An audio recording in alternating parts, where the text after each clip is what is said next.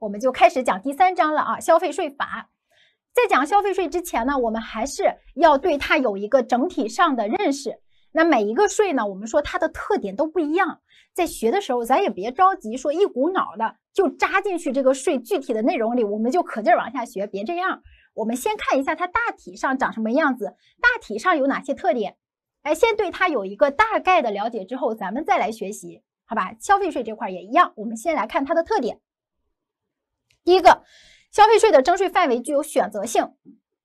那首先说消费税这块啊，你说什么情况下交消费税呢？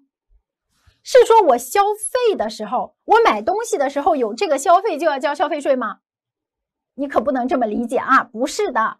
这的消费税说的是，哎，对于应税消费品征收的一个税，那就是说，在消费税征税范围这块呢有规定，那针对的都是应税消费品。具体后面呢，我们要学十五个税目，只有在这十五个范围里的，那才是消费税的征税范围。如果它没有在这十五个税目范围里，那它就不属于消费税征税范围，就不征收消费税了，吧？这个是我们说它的征税范围有选择性。那对应的，你可以去跟增值税做一个比较，增值税征税范围非常非常广吧？你现在目之所及，基本上。都是征收增值税的，消费税不一样啊，它的征税范围有选择。好，第二个，第二个说，一般情况下，消费税的征税环节具有单一性。那对应的又要想增值税了。增值税我们说有增值，你就要来交税，它是一个环环征收的税。但是消费税不一样，消费税一般情况下它就交一次，就是说的征税环节具有单一性。那具体征税环节是啥时候？哎，是生产环节呢，还是流通环节呢，还是说最后零售的环节呢？这个就是指征税环节。好，那现在啊，如果说你是国家，你是税务局这块的人，那你在确定征税环节的时候，你是给它放到哪个环节征税好征上来呢？你是在最后的零售环节好征呢，你还是给它放到生产环节好征？哎，肯定是源头，对吧？那你想生产环节，它都是一些大型企业、一些中型企业。那你征税的时候，你只用把这些大中型的企业，你给它管控好了，那这个税源它流失的呢，可能性就不那么大。那如果你反过来，你就说在零售环节征，那你怎么去管控那些批发商？怎么去管控那些零售商？那你的征管效率啊，就大大降低了，征管难度就上去了，对吧？所以说这个消费税呢，我们也是考虑到。征收管理这个征管成本这方面，大多数的消费品我们在征税的时候都是源头征税。那所谓源头就是生产环节，从没有到有生产出来的过程。好，生产环节征税，或者是说委托加工环节，这个东西你委托给别人加工，委托加工环节也征税，这个也是源头。然后呢，就是进口环节，进口环节也是这个东西。从没从没有到有，就是在我国境内从无到有出现的过程。所以说进口环节呢，它也属于源头啊。那这个接下来呢，这几节课我在提的时候，我就会经常说生委进，生委进，生委进，也就是指的生产环节、委托加工环节和进口环节，它们都是源头环节。好，这个说的是一般情况下，你看这多严谨啊！说一般情况下都是单一环节征税，而且都是源头征税。那就是有例外，有一些特殊情形，它不是在源头征税的，它有在批发环节征税的，有在零售环节征税的，哎，有在零售环节征税的。那这个是说它的特殊情形。然后有一些呢，它还不是单一征税，不是说征一次税，它征了两道税，那就会有加征的情形。好，那这些特殊情形，一会儿咱们在学的时候呢，你就需要留意一下了啊。这些特殊情形也是非常容易爱考察的地方。好，这是第二个，然后第三个，第三个说消费税的平均税率水平差异比较大。这消费税这块儿，有的税率百分之一，好家伙，有的税率呢百分之四十，这差异多大呀，对吧？那其实差异大呢有两点好处。第一个，那既然差异这么大，那你说它这个税收的调节作用是不是就更明显了？就更有利于调节贫富差距，对吧？第二个。第二个它的好处呢，就是对于我们来说的了。那既然消费税它的这个每个税目对应的税率不一样，差异又比较大，那我们呢就不用来记了啊，这是消费税这块，税率这块不用记了，比较开心，对吧？来看第四个，第四个说消费税的计税方法具有一定的灵活性，那你就需要去讲增值税。增值税我们算税的时候都是一个金额乘以一个比例，那它是什么计征方式啊？它是从价呢、从量呢，还是复合呢？这是第一章讲税法要素的时候提到过的。哎，前面一个金额，后面一个比例，它都是从价计征。这个是增值税啊，所有的都是从价计征。但是在消费税这儿可全乎了，你看有从价的，有从量的，还有复合的。复合复合那就是从价和从量的复合了。反正它挺全乎的，这三种计征方式它都有。好，你再来看第五个。第五个说消费税是价内税，那说到价内税就需要跟价外税联系上了吧，对吧？我们说增值税它是价外税，啥意思？这个东西，这个货物啊，本身它的价格是一百块钱。好，我在算增值税的时候，我是用这一百乘以百分之十三来算的，算出来这是十三块钱。那这个增值税你算的时候，价款里呢，一百块钱里没有包含增值税本身，所以它叫价外税。那价内税啥意思？现在啊。假设这个东西它是一个应税消费品，它对应的消费税的税率是百分之二十。那我们在算消费税的时候呢，是用这一百乘以百分之二十来算的，就是二十块钱。好，那这二十块钱的消费税，它是包含在这一百块钱的价格里的。你看你在算税的时候是含了消费税的一个金额，那它就叫价内税。好吧，这块一定要搞清楚啊！消费税是价内税，所以消费税的计税依据，它是含了消费税本身的。好，这五个特特点你有一个了解了。好，下面我们先来说这一章，我们讲哪些内容？首先刚上来呢，还是一些最最基础的东西，呃，逃不掉的，每一个税种都一样，纳税义务人啊，税目啊，税率啊，我们要说。好，说完了这些基础东西之后呢，我们就要学应纳税额的计算。注意啊，对于消费税来说，它最最重要的一个特点就是，大多数情况下它的征税环节具有单一性，所以在哪个环节征税非常非常重要。所以我们在学应纳税额计算的时候呢，我们就分环节来学，我们分别看生产环节、委托加工环节、进口环节。以及特殊的环节到底怎么来算税？我们是分环节来学的啊，这块需要大家注意。然后学完了之后，最后是一个征收管理，所以你会看到消费税这一章呢，它比起来增值税真的是清爽不少，对吧？那在学之前跟大家说一下消费税它的一个重要性。那今年的时候，因为我们有一些延期的考生，那这个出的题呢也比较多，有多套题。那今年考试的时候呢，消费税在每一套试卷里，它的分值分布是非常的不均衡。有的试卷里出现了两道消费税的题，有的试卷里一道都没有。这是今年的考试情况。其实呢，在今年之前，在以前的时候，消费税每年它都会出一道计算题。所以说整体来看呢，其实消费税这一章，它的平均分值大概是在九分左右。九分左右的一个分值啊，这个分值它占比可不低，一点都不低。但是你看它学的内容呢，并不多，对不对？所以说消费税这一章是大家呃真的可以是拿分的一章，它是性价比极高极高的一章，它比增值税性价比要高太多了。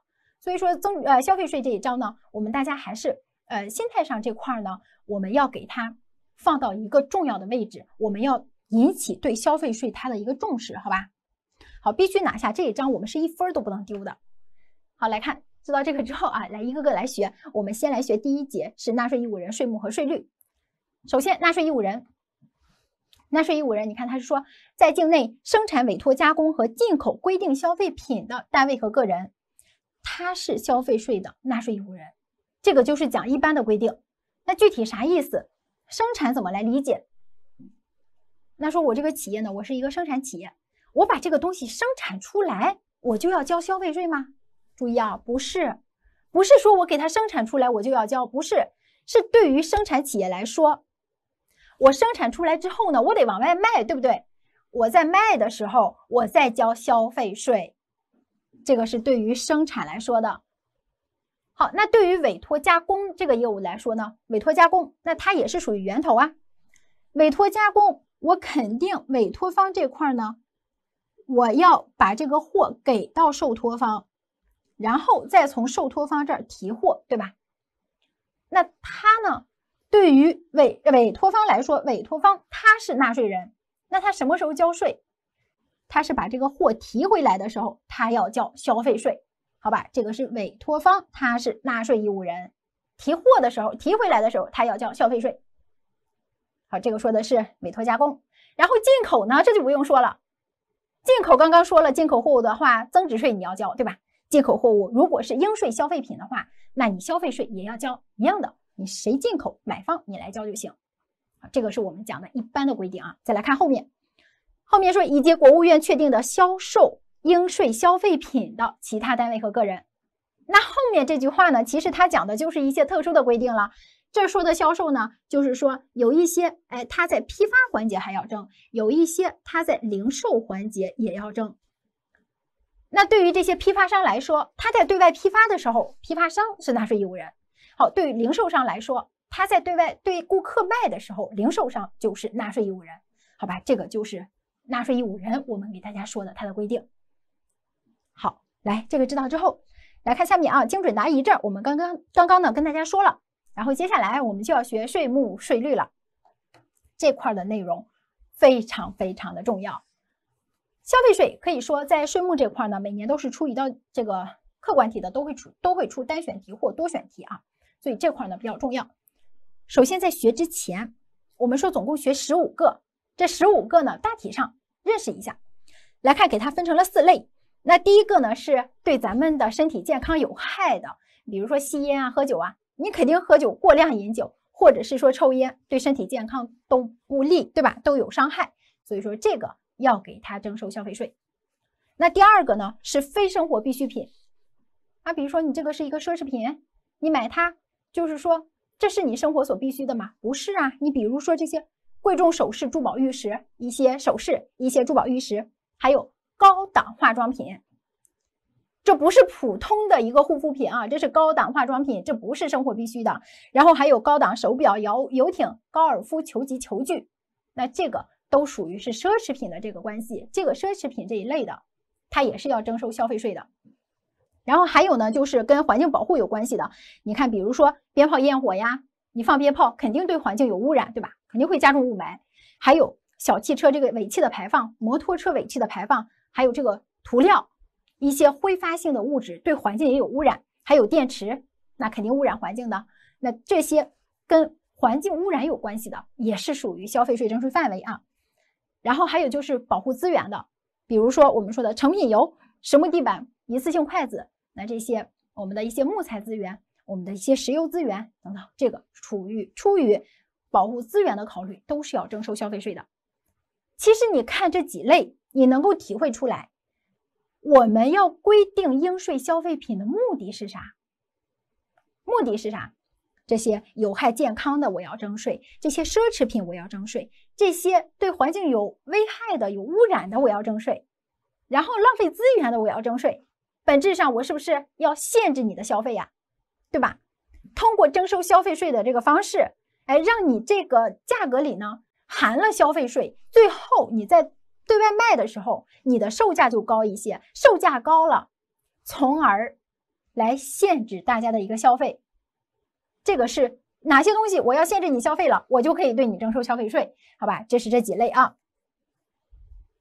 然后当然了，还有一个作用，那就是调节贫富差距了，对吧？比如说非生活必需品，那有钱人玩的，那你不是有钱吗？那我就对你多征点，就多征点税，然后为国家财政做一些贡献。这个是说的这十五类。好，这十五类呢，有一个大概的了解就行。然后这十五类，有同学说有没有口诀呀？我跟你说哈，这十五类你现在压根儿不用口诀来进行记忆，你就是第一次看到它的时候是陌生的，但是你之后还会反复的来进行学习。这十五个你混一个眼熟就可以了，你不用来死记硬背。到时候你考试的时候，你来选的时候，你也能选出来。更重要的是，这十五类里的一些细节规定、一些特殊规定，你要关注，好吧？不用记口诀啊，这是这十五类。好，下面在学这十五类之前，我需要大家拿出来一张空白的纸。那这个纸上呢，需要大家做好一个总结。什么？这个纸上你分成四列。那第一列呢，你写税目。这税目就是我们接下来要学习的这十五个税目，你分别写下来啊。一会儿每在学每一类的时候，你写下来。这是第一列。那第二列呢，需要大家写一下不缴消费税的情形。不缴消费税的情形，那不缴的这里呢，有两层含义，一个是压根儿不在征税范围，第二个是在征税范围，它给了免税的规定。这些特殊的规定，你都给它整理下来。一会儿整理的时候，那当然课上没有那么多时间，你就捡着关键字整理一下，好吧？更多的放到课下去进行一个补充。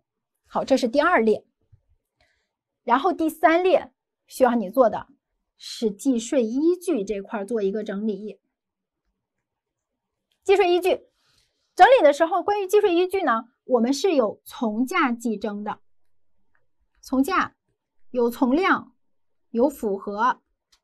好，消费税这儿在计税的时候，大多数的情况下都是从价，所以从价的这些你不用整理了啊。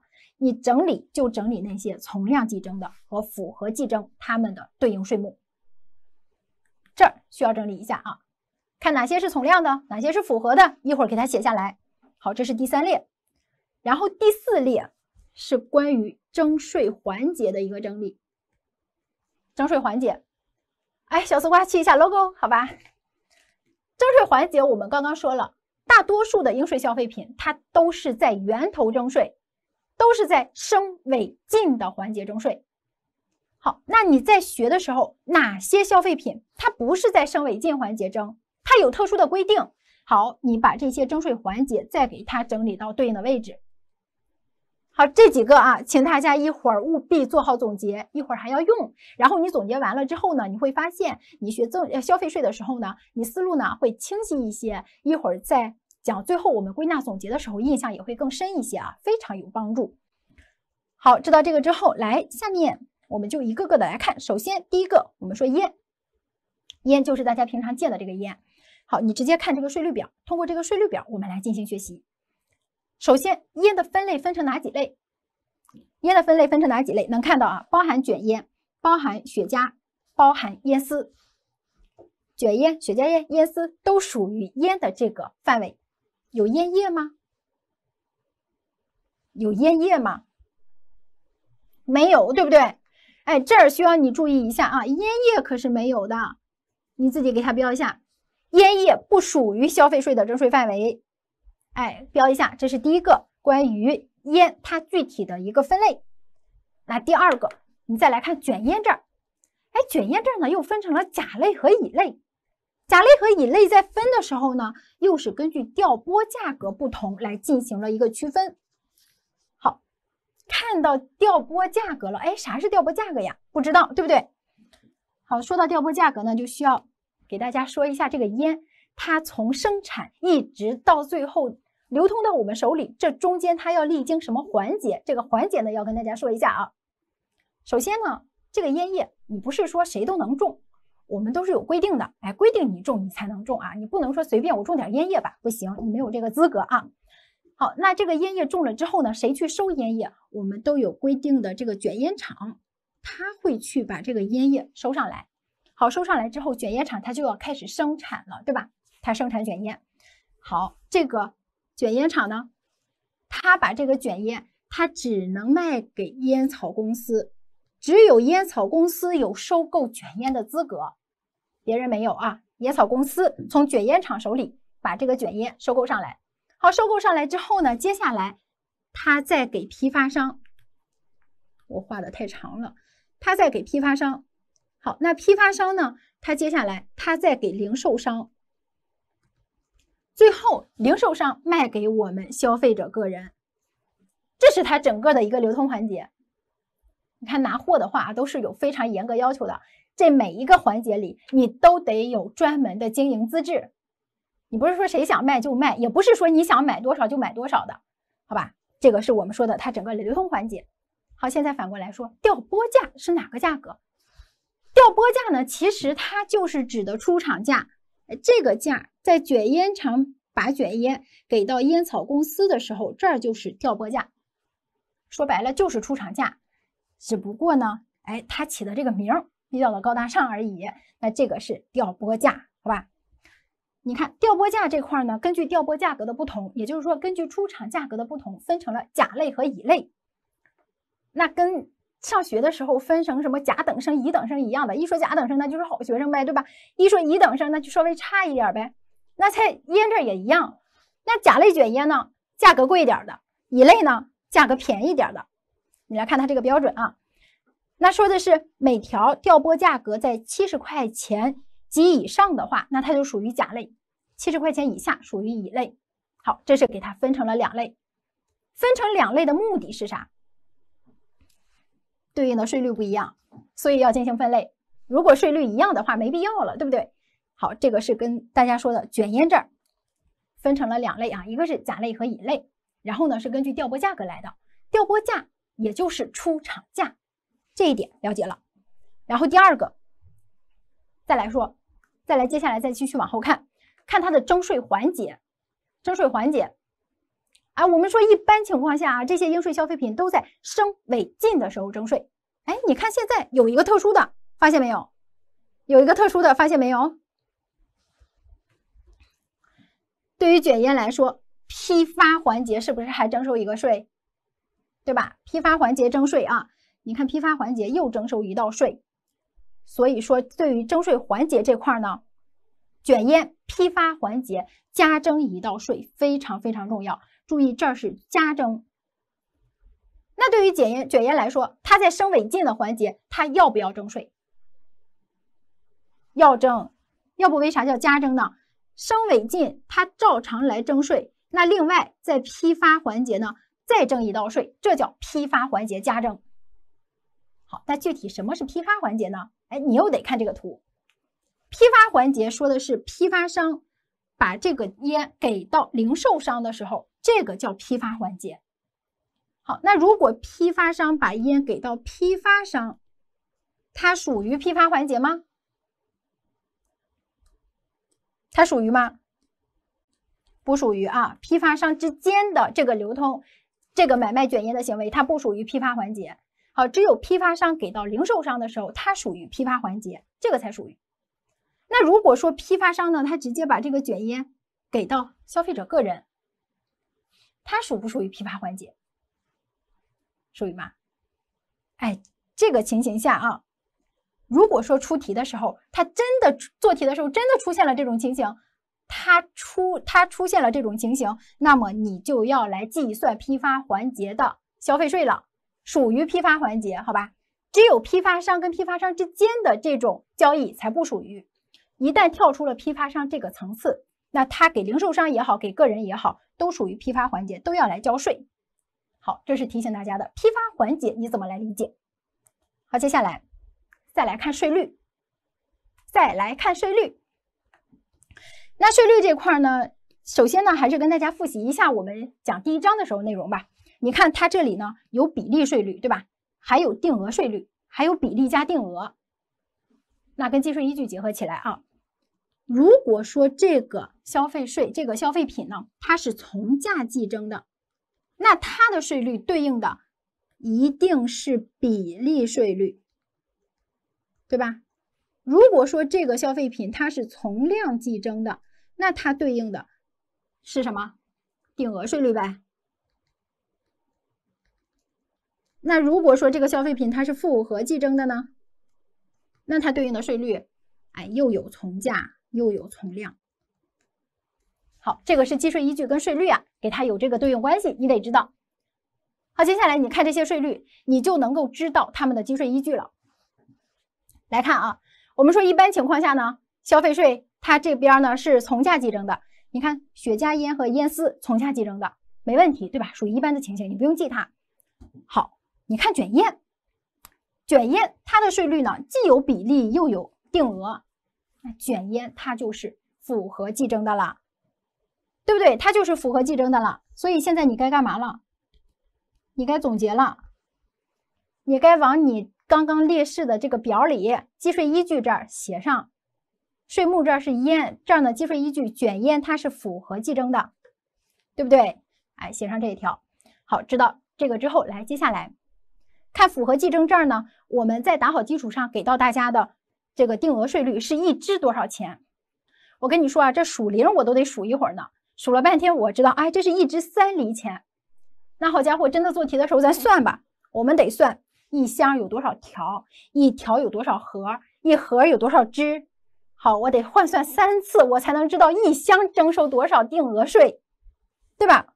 我才能知道多少。然后呢，所以这儿呢，建议大家不要进行一个换算了啊，直接把后面标黄的这个你就抄到打好基础上。背的时候呢，就直接背这个黄色的字体，就是说这个卷烟在生产环节，在生产环节，在算定额从量的这部分税的时候呢，是一箱一百五，生产环节是一箱一百五，哎，吸烟的会算是吧？那吸烟的你为国家做贡献不少呢啊。然后呢，在批发环节是一箱二百五。这个换算一箱多少钱？考试的时候不会给出来，你你得直接背过啊。就是生产环节一箱一百五，批发就是个二百五，批发是二百五。好，这个抄上了。然后再来看，刚刚呢，我们说卷烟有区分甲类和乙类，对吧？那在算税的时候，算税的时候，卷烟不管是生产环节还是批发环节，它都是符合计征的。那在生产环节呢，分了甲类和乙类，在批发环节还分吗？不分了啊，不分了啊，批发环节就不分了，批发环节不分甲类和乙类了，统一都是按照百分之十一的比例税率，然后一箱二百五来算，然后一箱等于多少根儿啊？一箱等于五万只，一箱等于五万只，好吧？好，这是第四个跟大家说的。其实说完这儿呢，你看一下我们前面这些文字性的东西，刚刚是不是都带过了？包含烟，它的范围包含卷烟、雪茄烟和烟丝，说过了，对吧？然后根据调拨价格不同，卷烟呢分成甲类和乙类，也说了。然后卷烟呢在批发环节加征一道消费税，都说过了。来，下面啊，我们就算一下这个烟里面它的消费税有多少，正好带大家呢练习一下，嗯，练习一下，好吧？我们就写到这儿吧。假设现在啊，一箱烟，一箱卷烟，一箱卷烟是两万块钱。那你算一下，应该交多少消费税？这个是卷烟厂在给烟草公司卖的时候，好，一箱是两万块钱，应该交多少消费税？那它呢是甲类卷烟，我直接给到你。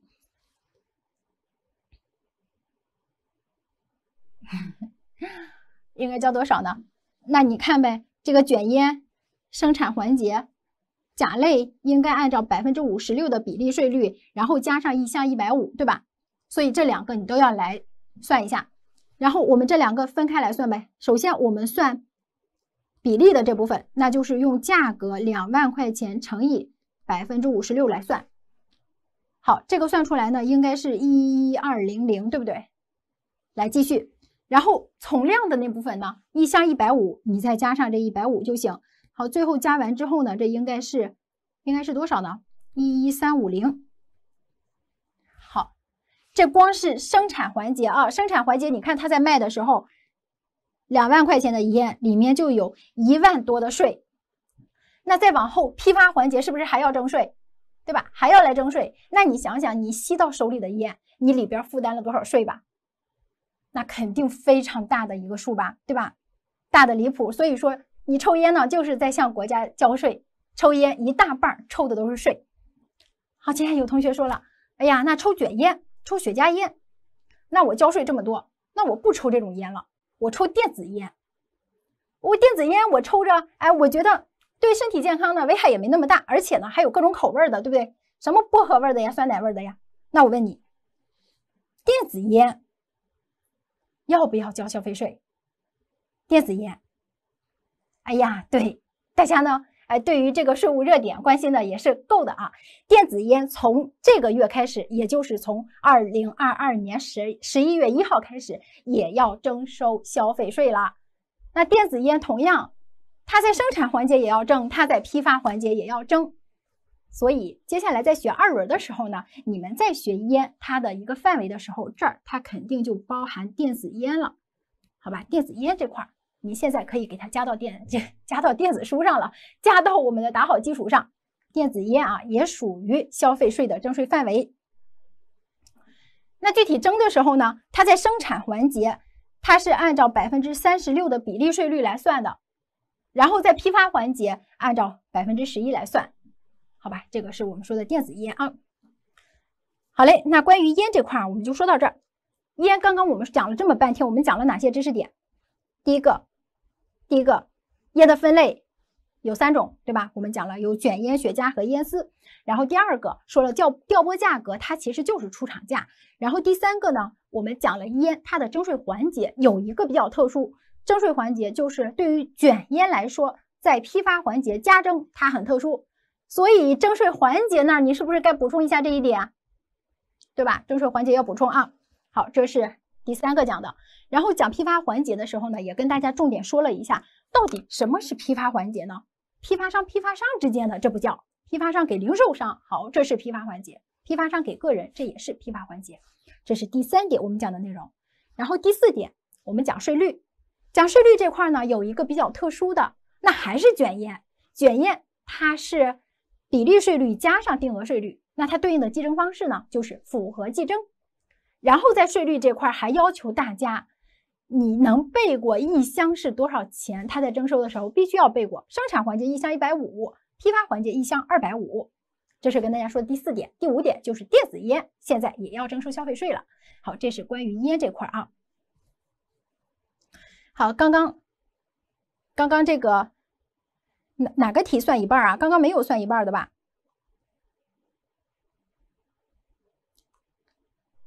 这个讲半天是因为消费税的这些税目里面，我们烟、我们的酒是出题频率最高的地方，所以烟这块呢给你讲的比较细啊。后面有一些不太出题的，我们讲的就快一些，好吧？好。然后呢，刚刚有同学说电子烟，电子烟这块我再说一下啊。哦，不是这道题没有算完，这道题批发环节，哎，这道题为啥没算批发环节？因为这道题，批发环节我再说一下，这道题本身我设置的前提就是卷烟厂他把这个烟卖给了烟草公司，他卖给烟草公司的时候，他要交批发环节的税吗？不交，好吧，这就是为什么没算的原因。那批发环节的税谁来交？是这个批发商来交，批发商来交。咱们现在，咱们现在就假设批发商呢，他对零售商卖的时候，假设一箱呢，他卖三万块钱，那他三万块钱，他怎么来算税？好，那我就去找批发环节它对应的税率，对吧？比例的这块百分之十一，定额的这块是一箱二百五，那我就用三万乘以百分之十一算出来这个。比例的这部分从价计征的这部分税，然后这部分是多少？让我算完，应该是三三千三，对吧？然后呢，再把这个一箱二百五，这二百五加上这个就是批发环节应该缴纳的税款是三千五百五，好吧？算完了啊。但是你现在你也知道了，为什么我刚刚不算？就是因为刚刚对于卷烟厂来说，它不用交批发环节的税。好，现在我问你。你们都买烟对吧？你们去这个烟草专卖店买烟去，那对于零售商来说，他在把这个烟卖给你的时候，他要不要交税？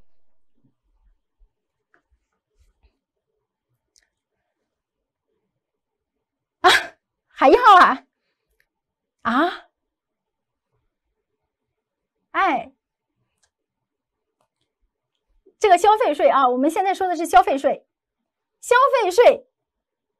我们不是说了吗？单一环节征税，一般的情况下，它都是在升尾进的环节征税。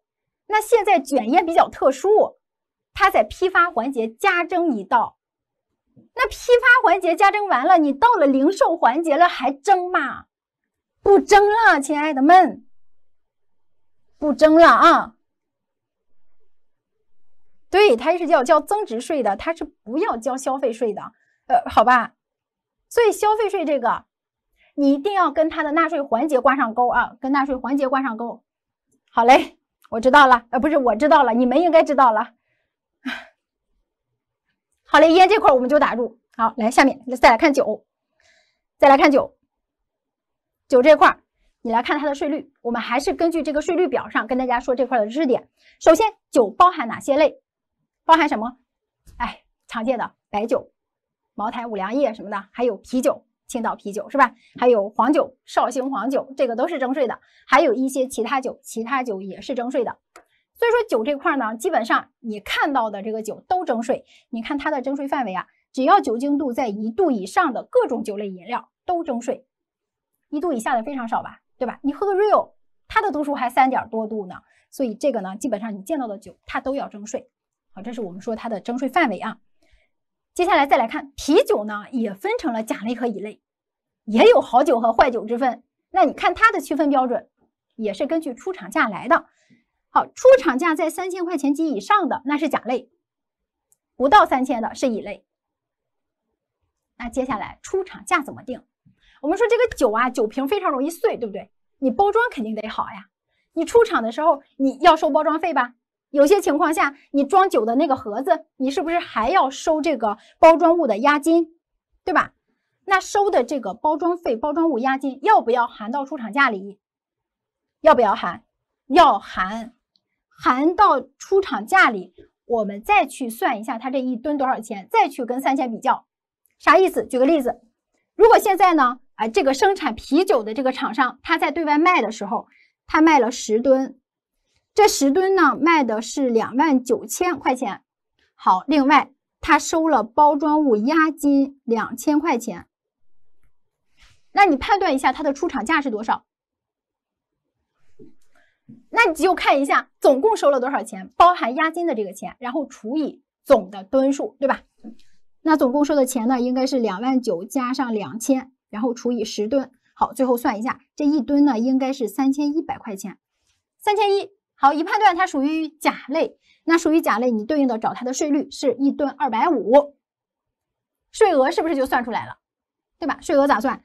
这是十吨，一吨二百五，我直接用十吨乘以二百五，这两千五就是这个啤酒厂它应该交的消费税，对吧？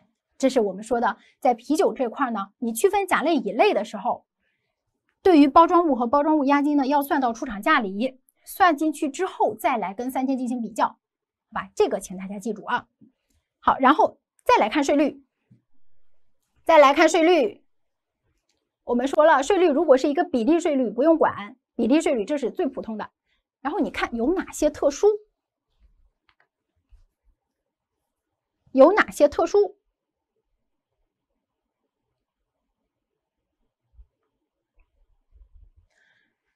比如说啤酒和黄酒，啤酒、黄酒都是一吨多少钱？它是一个定额税率，对吧？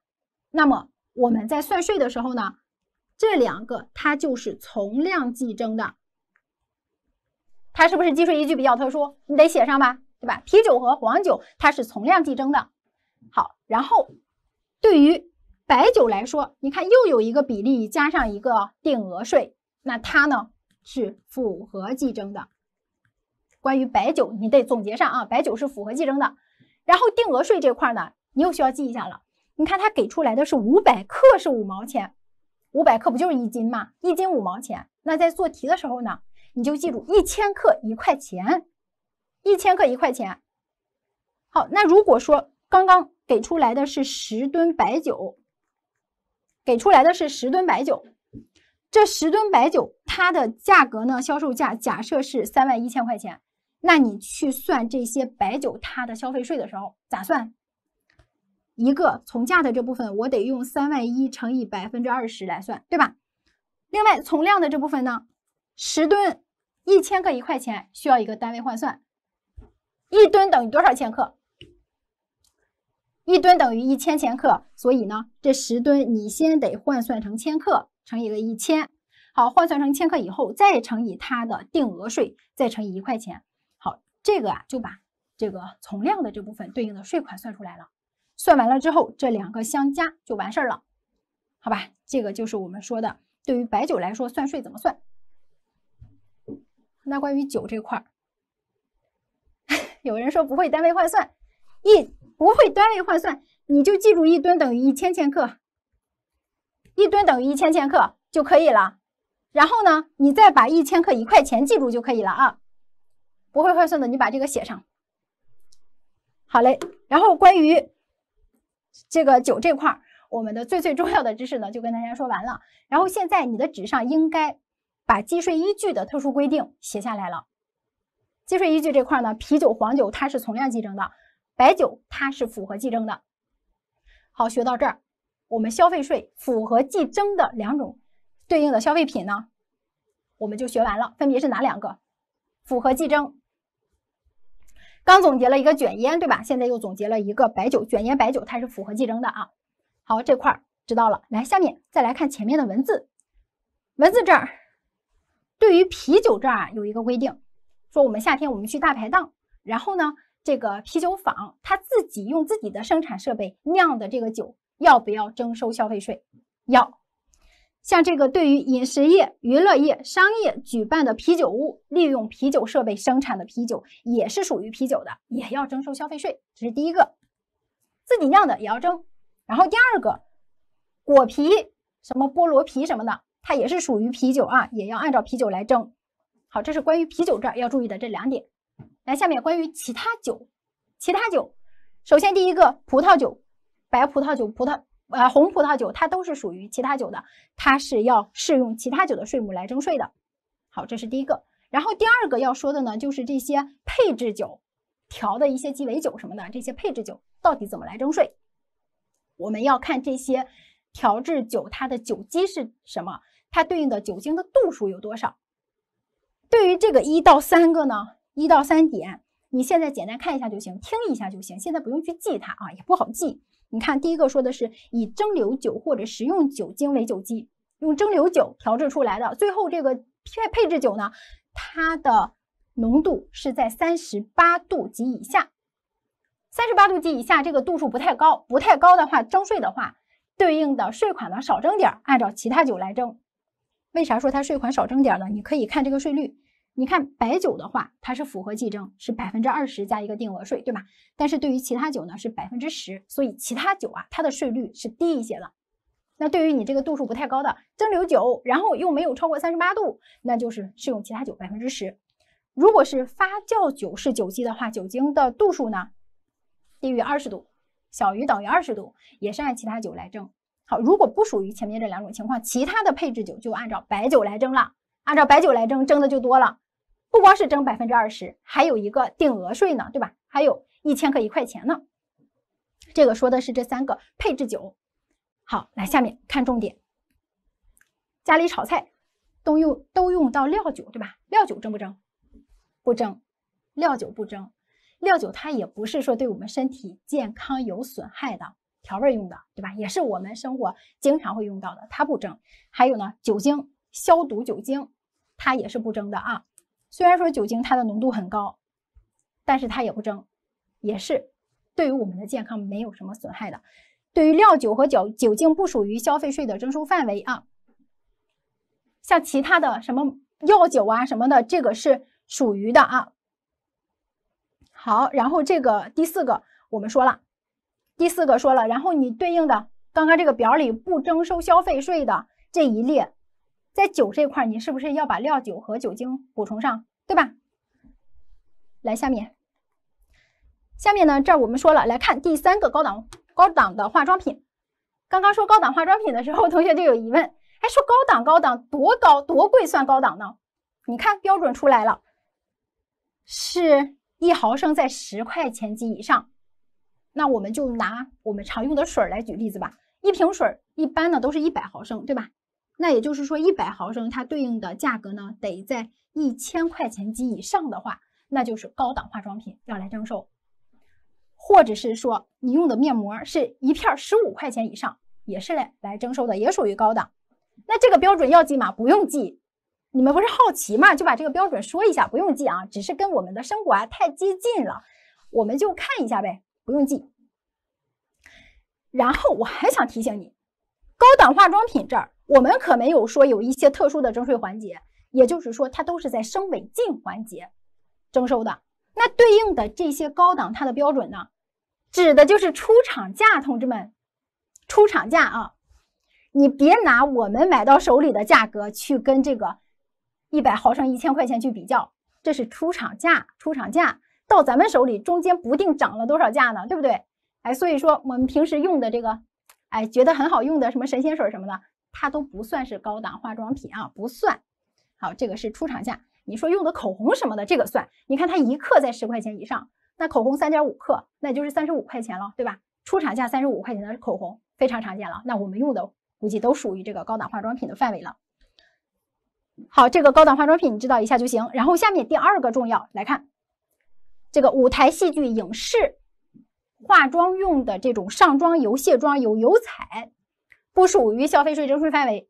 好，这些影视剧的演员，这些话剧演员，他们脸上擦的这个工作需要吧，对吧？工作需要，这个人家是出于工作的需要，这个是不征收消费税的啊。他并不是说为了。就是自己买一些这个奢侈品，或者是为了炫富的，不是，人家就工作需要，所以把这个也补充上啊。好，简单写一下就行。这是第三个，来看第四个，第四个又出来了，又是女生比较喜欢的，对吧？贵重首饰及珠宝玉石，来看贵重首饰及珠宝玉石它的征税范围，包括以金银、白金、宝石、翡翠、珊瑚等等这各种制作的纯金银的首饰以及镶嵌首饰，或者是打磨加工的各种珠宝玉石。你看，它强调的是首饰或者珠宝玉石啊。我问你，你在金店儿，你去这种什么周大福啊什么的，老凤祥啊，你除了能看见这种金项链儿、金耳坠之外，你还能看见金条，对不对？那这个大金条要不要征收消费税呢？金条征不征？金条不征。你看这儿，他强调的得是首饰或者珠宝玉石，对吧？所以说大金条它是不征的啊，你们以后你们在要彩礼的时候，别要三金了，直接要大金条吧。三金你还得交消费税，你看要大金条它就不用交消费税，而且还有保值增值，还有投资的功能，对吧？哎，这个是大金条。然后你买的一些金银饰品的一些摆件，金银的摆件不是饰品啊，就是摆件也是不征的啊。好，这个是征税范围这儿要跟大家说的。然后下面也重要，来看。税率这儿，税率这儿呢，不是说它对应的税率这个百分之五、百分之十，你要记住，不是的，是它的征收环节很重要。你看，对于金银首饰、钻石及钻石饰品以及铂金首饰，在征税的时候是在零售环节征税，很特殊吧？对吧？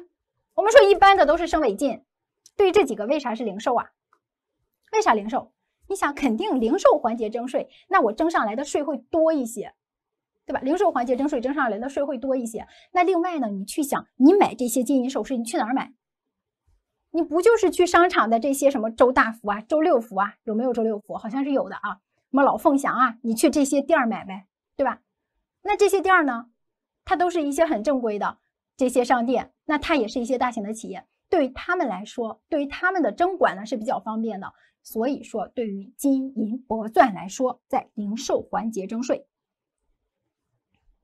就是零售环节征税啊，反正你不可能说我买一个金银首饰，我去地摊上买吧，不可能，对吧？地摊上更假。好，接下来再来说这个零售环节咋理解？刚刚我们说卷烟是在批发环节加征，那是加征，那就是说生产环节我要照常征，然后批发环节再征一道。但是现在金银铂钻它是只在零售环节征收，那就意味着。在生产环节，它不征了啊，它不征了。好，这是对于金银铂钻来说的。你在这儿啊，你把四个字啊标到你的打好基础上，金银铂钻，金银铂钻，这是仅在零售环节征收。好，这是第一类。然后第二个呢，就是除了金银铂钻之外的其他的非金银的贵重首饰和珠宝玉石，那就是我们正常的一个计税环节，升为进。好吧，这是关于税率这块啊。关于金银铂钻仅在零售环节征收，非常非常重要。好，来下面该看鞭炮焰火。走到后面呢，我们走的就快一些了啊，因为前面重要，后面不太重要。鞭炮焰火这块不包括体育上用的发令纸、鞭炮药引线。体育上用的这个也是工作用的，不包含它们。这是第五个。来，下面第六个成品油。哎，成品油你在看打好基础的时候呢，你会看到它写了将近大半页的一个幅度，对吧？呃，但是成品油这块，说实话它不太重要。你首先你熟悉成品油它包含哪几类，然后对于成品油里这里有一些税收优惠，哪一些免，你留意一下就行。好，首先成品油呢，它包含汽油、柴油、石脑油、溶剂油、航空煤油、润滑油、燃料油都是属于的。汽车加的汽油。啊，什么一些大的货车加的柴油都是属于这个范围的。在这儿呢，有一些优惠。对于航空煤油来说，飞机加的航空煤油是暂时免征消费税的，它是免征的。然后第二个，柴油是符合条件的纯生物柴油不征，因为纯生物柴油嘛，它也没什么污染，它就不征。然后刚刚有同学说吃的油不征，对，吃的油不征。然后这儿呢，你看这都是成品油，它跟吃的油没关系啊，吃的油是不征。呃，然后再接下来需要大家注意的就是这个变压器油、导热类油，这些绝缘油它也是不征收消费税的，它也是不征收消费税的。至于这里面，哎，到底石脑油是啥，溶剂油是啥，你用管吗？不用管，同志啊，不用管那么多重点的内容呢。这儿你要是想抠的话，回去百度一下就行了，好吧？你现在需要做的就是把这个变压器油、导热类油，把它整理到不征收消费税那一列，它比较特殊，这是成品油里比较特殊的。然后呢，还有一些免税的，比如说航空煤油，比如说一些符合条件的纯生物的柴油，它是免税的啊。好，这是第六个。然后下面看税率，税率这儿呢，本身它一升多少钱你不要关注，一升多少钱不关注。然后你关注的呢，它是一个定额税率，对吧？那它意味着呢是从量计征的。好，说到这儿，你去想一下，到现在为止我们讲的哪些消费税的税目是从量计征的？从量计征的有哪些？啤酒、黄酒、成品油，对吧？啤酒、黄酒、成品油，它是从量计征的，需要大家记住。那你来记呢？可以是什么黄皮油？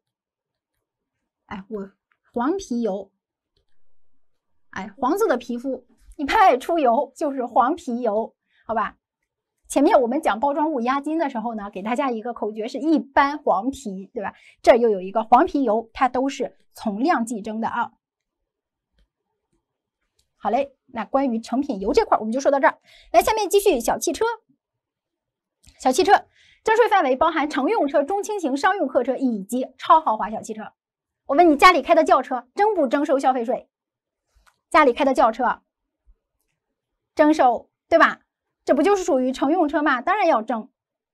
哎，然后路上跑的货车征不征？货车征不征？你看属于哪一类呀？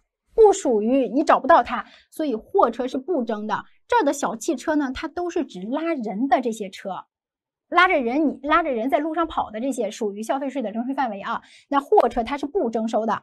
那继续你来看，电动汽车它也不征收，电动汽车对环境没有污染，不征收。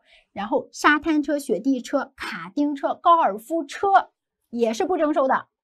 这些呢，都是有特殊用途的一些工具车。工具车它也不是说上路为了拉人、为了跑的，它也是不征收的，是吧？这四个也不征收。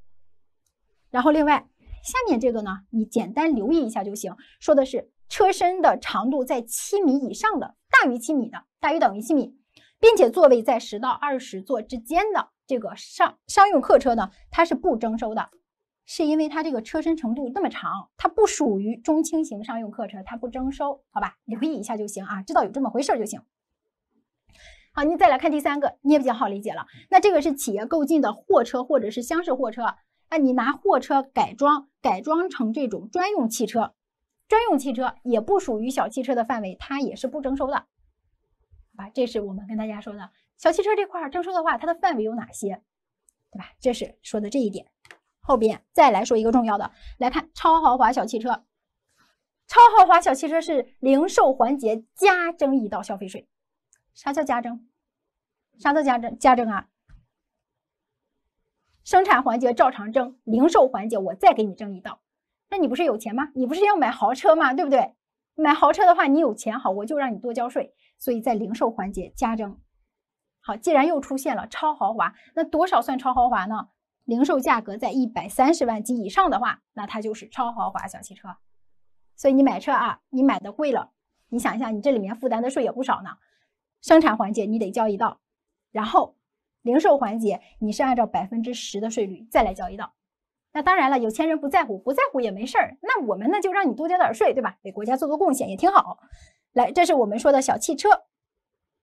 下面继续往后走，然后税率这块呢？没有什么要注意的，它都是比例税率，所以没有什么要注意的。来，第八个，摩托车，摩托车，它的征税范围呢是气缸容量在二百五十毫升及以上的摩托车，那就是说你排气量呢，你大的对吧？排气量比较大，对环境污染呢比较重，像这种的是征收消费税的。如果说气缸容量没有到达二百五十毫升，那这种情况下，摩托车的是不征收消费税的啊，这个是二百五，这个是二百五，又出现了一个二百五。今天这节课说了好多二百五，对吧？来，下面继续税率这块，税率这块呢，同样都是两个比例税率，不用管它，考试的时候也会给出来。来，这是第八个啊，摩托车。来，第九个，高尔夫球及球具，反正这个名起的吧，就像我们打不起的样子，对吧？高尔夫球球具，反正也是有钱人玩的一个游戏，像我们打个乒乓球啊、羽毛球啊，找个场地。就能去打了，但是高尔夫球呢？你得去办会员吧，你得去高尔夫球场办会员吧。这个会员都是几万到十几万啊，几万到几十万，非常非常贵。那还是只是有一个会员的资格呢。你进去打球，你要另外付钱。所以说这呢，又是一个有钱人玩的游戏，当然要征税。那征税的时候呢，你看它针对的是高尔夫球以及打球的这个球杆，球杆要征税。以及装球的这个球包或者是球袋要征税，总之都是跟高尔夫球相关的。那这儿是不包含高尔夫球帽的啊，球帽戴的帽子，那你打球能戴，你不打球就不能戴了吗？也能戴呀，对吧？你当个装饰品也能戴啊。所以高尔夫球帽啊，它是不征收消费税的。但是像球本身、球杆以及球包，它都是征收的。好，那球杆呢？它具体来说。它的组成又有杆头、杆身和握把，那这三个它的组成部分也要征收。那如果不征收的话，会有啥后果啊？企业我就不生产高尔夫球杆了，我就生产球球头，呃，不是，我就生产杆头。然后呢，另一个企业我就生产杆杆身，另外一个企业我就生产这个握把。然后最后这三个我找一个企业一组装，完事儿了，对吧？那这个啊，消费税它不就流失了吗？所以说这三个啊，你生产的是。球杆的组成部分，它是也要征税的，注意一下这个征税范围。然后它的税率不用管了，百分之十又是比例税率。好，第十个高档手表又出现了高档，多贵？多贵？它的价格呢，得是在一万块钱以上的，它是在一万一万块钱以上，这个一万呢是含一万的。好，我问你啊，我现在我去商场买一块手表，那这个手表呢？它的不含增值税的价格是一万块钱，我要不要交消费税？不是我要不要交了，商场要不要交消费税？啊，确实确实手表价格有点低啊，不要对不对？为什么？因为高档手表它也是在生产委托加工进口环节交税，现在零售环节你管它多少钱呢？人家就算卖十万块钱，对于商场的这个卖手表的这个。地方人家也是不交的，好不好？这是第十个。好嘞，来下面第十一个游艇。游艇，这个游艇呢，哎，反正也是我买不起的。这个游艇也是有钱人买的一个东西。那这的游艇呢，一定指的是机动艇，是机动艇，你不用自己给它用桨划的，不是这种无动力艇，也不是帆艇啊，它自己有发动机的这种，它才要征税。好，你需要注意一下，无动力艇和帆艇不属于消费税的征税范围。好，这是第十一个。来，下面第十二，我们把这个税目讲完再休息啊。十二是木质一次性筷子，需要大家注意的两点，一个得是木质的，第二个得是一次性筷子。你看今天道具都上来了，这个筷子能看清吗？呀，看不清啊，这个筷子看不清。这个筷子就是大家平常点外卖你们拿到的筷子。它属于消费税的征税范围吗？不属于，不属于，因为它是竹制的，它不是木质的，对吧？这是想提示大家的第一点啊，得是木质的一次性筷子才征收。然后第二点，得是一次性的，我们家里用的木质的筷子，好用个两三个月，它也它也是呢反复使用的，它不是一次性的，所以它也不征收消费税。好吧，一定得是木质的一次性筷子，注意这两点啊。然后关于税率没什么说的了，好吧，这是第十二个。来看第十三个，实木地板。实木地板这儿呢有三点要提示大家。第一个，这个实木地板不光包含这个税目里的名称本身的实木地板，还包含一些实木指接地板、实木复合地板，都是属于这个范围。第二点要提示的。不要看到这个实木地板啊，就觉得这个实木的装饰品铺到地上我才来征，不是的，人家用来装饰墙壁呢，装到墙上去也要征，装到墙上也要征，好吧，跟它装到哪儿没有关系，这是第二点要提示的。然后第三点，你不要觉得这个光滑的、抛过光的，哎，最后的这个成品要征啊，那就算是它是一个素木板儿，它是素板，或者是说是白皮板。那它呢，就算带着刺儿的，它是这种实木的，也要来征收，好吧？包含素板和白皮板，是包含这个的。这是这三点要提示你的啊。那关于税率这儿没什么说的。来，下面第十四个电池，哎，终于完了，快！电池呢，它是征税范围，你看有原电池、蓄电池、燃料电池、太阳能电池和其他电池，非常多，对吧？但是你来看下面。对于太阳能电池和燃料电池，它是不是免征消费税？所以说这儿啊，它就直接免了。那对于这个里面的原电池呢？原电池有一个无汞原电池、锂原电池，它也是免的。对于蓄电池这儿，一些金属氢化物的蓄电池，什么锂离子蓄电池，它也是免的。所以说你别看电池它的征税范围很广，这里面要征收的其实不太多了，就是对环境有污染的这些才征收。你比如说，下面需要你重点关注的就是铅蓄电池。铅蓄电池它是要征收消费税的，好吧？好，这是铅蓄电池。那当然，你看这个政策呢是二零一六年实施的，因为二零一六年的时候呢，它的技术也不太先进。那铅蓄电池呢，你看这里不是有铅吗？呃，那是重金属，对吧？对环境呢有污染，所以说对铅蓄电池我们征收消费税。但是现在啊，随着这个工艺的改善。人家铅蓄电池对环境的污染呢，污染力度没有那么大了，甚至没有什么污染，所以之后铅蓄电池会不会取消征收消费税的这个规定，很有可能啊。但是现在我们就按现在的规定走，好吧？这是第十四个电池这块儿。来，下面，哎呀，下面再说第十五个涂料，涂料还是征收它的目的呢，就是因为它这些挥发的有机物呢，对环境污染太大了，所以要征收。但是你看，如果说施工状态下挥发性的有机物呢，它的含量低于一升四百二十克，那就是污染的程度不大，对吧？这种情况下它就免征了，好吧？这个四百二用不用记？现在不用记，不用记啊，没有那么多要记的。涂料这块有一个免征的。好，关于第十五个涂料，我们就跟大家说完了。然后有同学说，这里的免征和不征是一个意思吗？不是一个意思。呃，首先不征呢，它是不在消费税的征税范围，这叫不征。然后免征，它是属于消费税的征税范围，但是给了它免税的规定，就是最后的结果都是一样的，就是这个东西它不用交消费税了，这是它的结果。那在消费税这儿，有同学说，老师，我用区分免征和不征吗？你不用区分，不用区分啊。增值税那儿我们要区分，但是消费税这儿没必要区分。好吧，那我们这节课就讲到这儿。